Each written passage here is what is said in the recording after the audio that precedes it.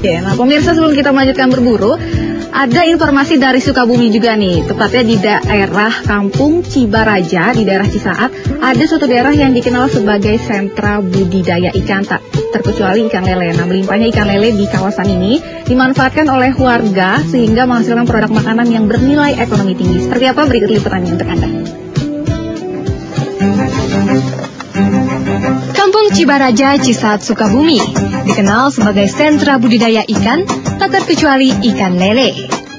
Dengan melimpahnya ikan lele di kampung ini, ternyata dimanfaatkan warga setempat untuk membuat abon yang bahan bakunya dari ikan lele. Salah satunya yang dijalani oleh Ella Nurlela, warga kampung Cibaraja, Desa Nagrak Cisat, Sukabumi. Usaha pembuatan abon dari ikan lele ini sudah dilakoni oleh Ella selama beberapa tahun belakangan. Di tangan Ella Nurlela, ikan lele dilacik menjadi abon yang banyak diminati oleh warga setempat karena memiliki nilai ekonomis yang tinggi. Untuk membuat abon, Ella memilih ikan lele yang terbaik. Biasanya ikan lele yang dipilih adalah ikan lele yang beratnya di atas 1 kg. Setelah ikan berukuran jumbo ini dibersihkan, yang diambil bagian dagingnya saja. Selanjutnya diberi bumbu, setelah itu dikukus dan digoreng. Setelah seluruh bumbu dan daging tercampur menjadi satu, saatnya digiling hingga hancur.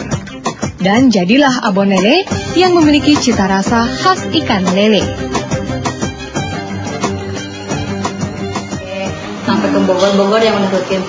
Oh begitu ya? Iya, Nah, emang di sini banyak lele ya, punya? banyak ya. Banyak ya. Terus itu rasanya apa? Ada bau anjir atau Oh, gimana? enggak. Enggak. Enggak. Ah, Jadi kalau kebanyakan yang udah beli itu rasanya Hmm. itu sama kayak abon daging sapi. yang umum ya. Iya. Di sini belum sebelumnya? Sering Oh sering. Ya terus gimana sih rasanya bu? eh, enak, nggak amis. Amis ya. Eh, anak-anak suka. Mana suka? Berkat peluang dan kreativitasnya, Ella Nurlela kini selalu menerima banyak pesanan abon khas ikan lele dari warga sekitar. Bahkan Ella sudah sering kali menerima pesanan abon dari luar daerah, mulai dari Bogor hingga sampai ke Aceh. Setiap bungkus abon ikan lele dijual dengan harga Rp15.000 per bungkusnya.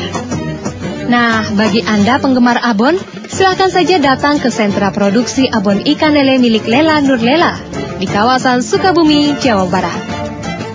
Demikian Muhammad Akasa melaporkan dari Sukabumi, Jawa Barat.